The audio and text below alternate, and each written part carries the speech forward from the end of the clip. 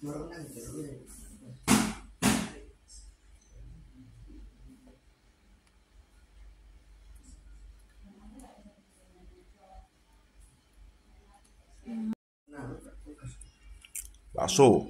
ini dikasih Martin nih. Isi bakso ayam. Hmm, lembut.